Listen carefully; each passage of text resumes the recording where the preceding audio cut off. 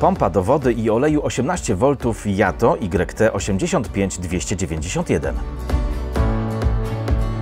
Przyda się w każdym warsztacie, w gospodarstwie, na budowie. Akumulatorowa pompa do wody i oleju 18 V Yato YT 85291. Można nią pompować różne ciecze wszędzie tam, gdzie nie ma dostępu do zasilania.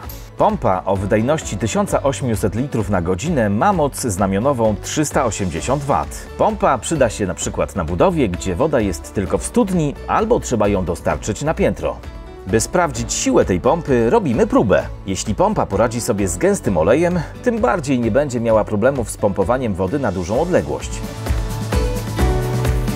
Jak widać, olej nie jest wyzwaniem dla Yato YT 85291. Pompa ma zabezpieczenia zapewniające trwałość.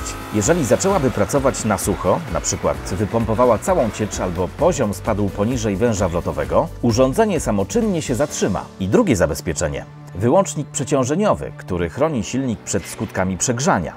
Poziom IPX4 to ochrona przed rozpryskującą się wodą. Jak szybko pompa Yato pompuje? Policzmy. 1800 litrów na godzinę to 30 litrów na minutę. 300-litrową beczkę napełni w 10 minut. Inne atuty? Niewielkie gabaryty i zaledwie 4 kg wagi. Możliwa praca ciągła. Pompa poradzi sobie z pompowaniem także wtedy, kiedy w cieczy jest powietrze, a woda lub olej płynie nieregularnie.